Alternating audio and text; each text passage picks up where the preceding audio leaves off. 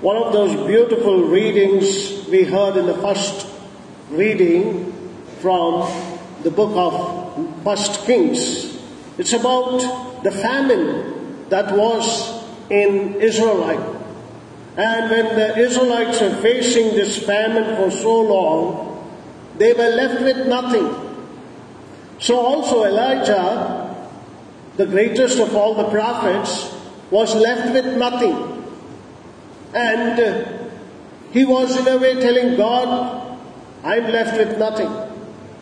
And God Yahweh says to him, Go, go to that town, and there you will find a woman in the fields, and then she will give you.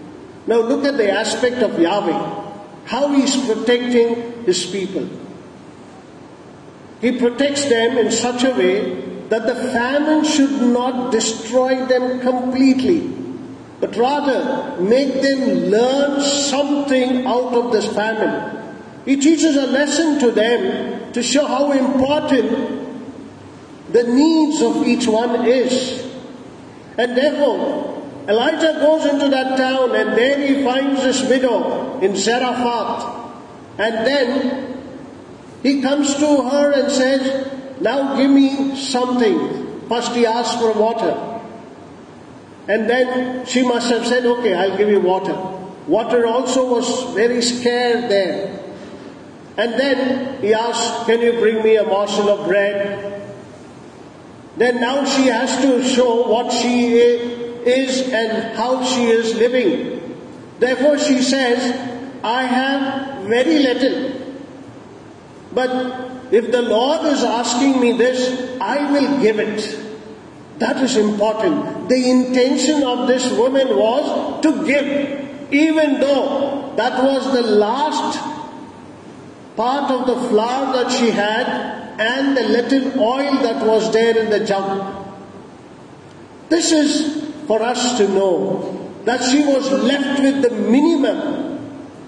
And when Elijah comes and asks, he said, Okay, actually, I wanted to prepare this last part of the flour, make some bread, and with the oil, have this, and after that, there is nothing for us. So she says, We are going to make bread, have with the oil, and die. Have this bread and die. In other words, they have come to the last thread and they have come to the end of that moment that which they had been living on. Once they finish this flour and the oil, there's nothing that they have to live for. And so she says, We are going to die after this. It's at that time you find Elijah saying, Do not fear. He says, Go and do what I have said. So she goes and does the jar of flour, she spends it off, and the jug of oil, she empties it, and then she comes and gives it to Elijah. And Elijah says, You just empty it. She empties the jug and the jar. And after that, when she goes to look into the jar and the jug, there is again flour there, there is again oil in the jug. And Elijah says, You will receive sufficient flour in your jug, in your jar, and sufficient oil in your jug till you get your rains. And the promise comes to fulfillment because this little part of what this woman did was enough for God to answer all that she wanted. So you and I should learn from this part to empty, even if it is that little part, that which is remaining with us. And to empty so that He fills us.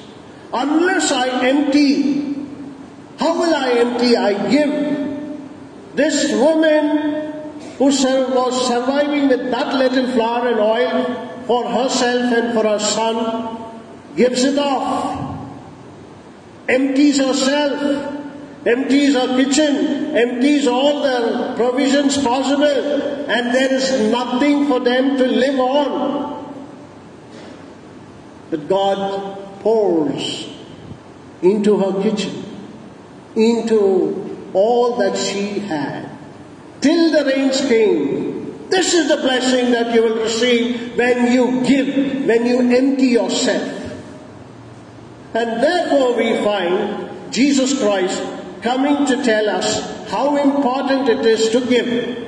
Today, my dear friends, in this gospel reading, every year we celebrate the Dalit Christian Sunday.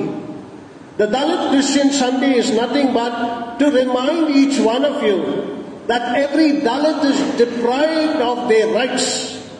What is that? Many of you will not know.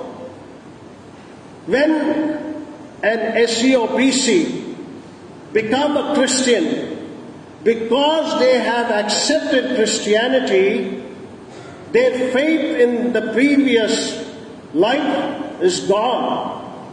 But their caste will not be gone. The caste remains. Because they have converted to Christianity, the caste will also not be converted.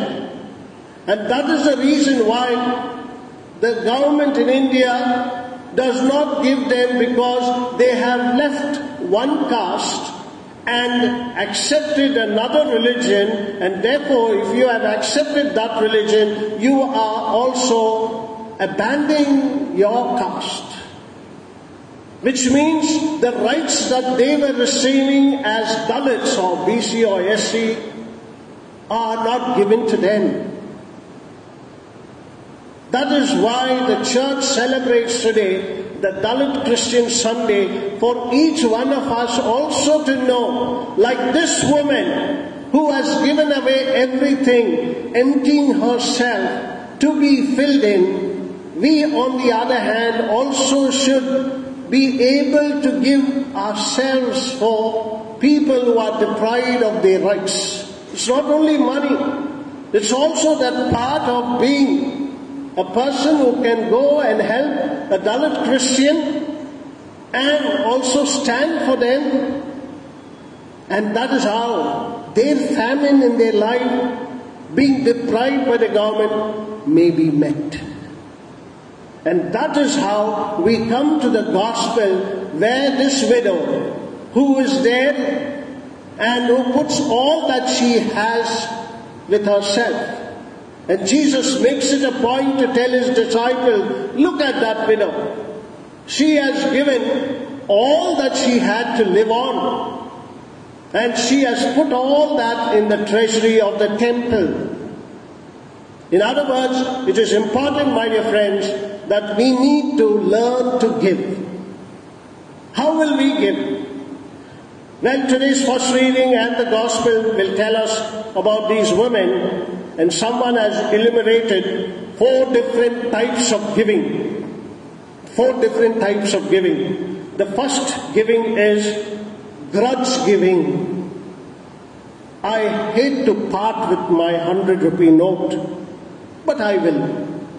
That is a grudge giving. I will give. But, you know, I don't like to give it. But since you are asking it, I will give it. We carry a grudge after giving. That is how sometimes when we want to give, we have a grudge within ourselves. The second giver is shame giving. I must, in a way, when I'm giving, match that other family. What he is giving, I will give more. After seeing what he is giving, then only I will give little more. And that is how a shameful giver is, that he wants to match. I must be noted. This church stands because of me. This house stands because of me. No. This is a shame giver. The third aspect is a calculative giver. We part with money, with what we had, very generously. But very calculated. God, I am giving this. You must give me a new house. God, I'm praying for this. You must give me by all means. We go to St. Anthony's shrine and say, St. Anthony, I'll give you 100 bread if only you give me this. And we promise. And we are here very calculative in our giving. Because I am asking this, and if you give me this, I am going to give you this. This calculative giving sometimes destroys us. But the last, the fourth giver is thanksgiving. The one with a thankful heart gives. I will part my funds precisely because God has wonderfully blessed me with enough and more. Like the widow in today's gospel reading, with enough and more, only the two copper coins. Yes, it is enough and more for her. But she parts with that. Therefore, my dear brothers and sisters, we see that we are all sometimes caught up with a lot of money our mind if we break our brains. No, if I break your brain and see what is there, it will be full of money because we're always thinking about money. What is money? Money is a servant. What is money? Money is a servant. Put your hand in the pocket, your servant is there. You treat money as a servant. You see that you make the money subjected to you. You don't make money the master of your life. It will destroy you. And that is the reason why you and I should learn that money cannot rule me. I will rule money. I will see how it will obey me. I will do what I want to do and then it has to obey. Because people say money makes us talk. But yes, look at this woman. She made Jesus talk by putting all that she had. You will get the blessing when you give all that you have. Therefore, remember the four givers that I have mentioned today. Because we all love money. It happened in uh, 1939 in San Francisco. They kept one million dollars on a table and they said, You can carry that money in your hand and take a photo, and that will cost 25 cents.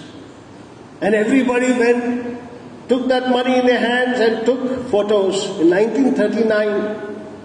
Today we will all take selfies with that money in our hands. Does it make you rich? Because you are holding on to this money?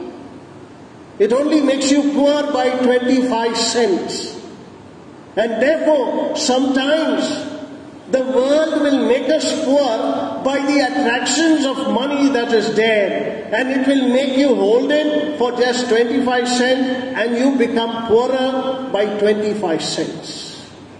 Don't ever be fooled or rob the poor with such little thoughts. The story of the widow, my dear friends, only culminates a series of beautiful things that have happened biblically in the Gospels. How they have abandoned false securities in the presence of God. Because you find that they have given up the false security. There are these false securities in this world on which we hang on and we destroy our life our future. I will take you to what happened to the Magi. They went there, they opened their gifts, they laid it before the child Jesus, and they left everything there and went away. Because they knew those were the false securities, and the securities that are there in this world are all false in the presence of God. And the second aspect that we see is the disciples. When Jesus says, Come follow me, they leave their father, they leave their boats and nets, they leave their hired men because they were living in false security. In the presence of God, they leave everything and follow Jesus. We also see the tax collector, Matthew, who was in the counter, collecting so much of money, making a lot of commission. And when Jesus says, Follow me, he leaves all these false securities in which he was surviving and leaves it in the presence of God and follows Jesus. We see Zacchaeus also doing the same. He believed in all these securities, but he later on leaves them in the presence of God and says, I will give half of my property to the poor. We also see what happened to Bartimaeus, a blind man, an ordinary blind man, who left all his clothes there, came running to Jesus. He came naked in a way to Jesus to say, I need sight. He believed in the clothes that he had on, but he left all his clothes in the presence of God to receive that great blessing of Jesus. Finally, the Samaritan woman at the well who came with a jar, who left that jar at the well, empty jar, she left her past stories there in the presence of God and she became a proclaimer for Christ. Therefore, my dear brothers and sisters, a question that we can all ask ourselves is what is that I am still holding on to? What is that I am still holding on to that prevents me from totally surrendering to God? Amen. Now we have the mic box coming around. How many of you are going to be like that widow? Are we going to hold on to many things still? Amen. Let us all stand for the creed.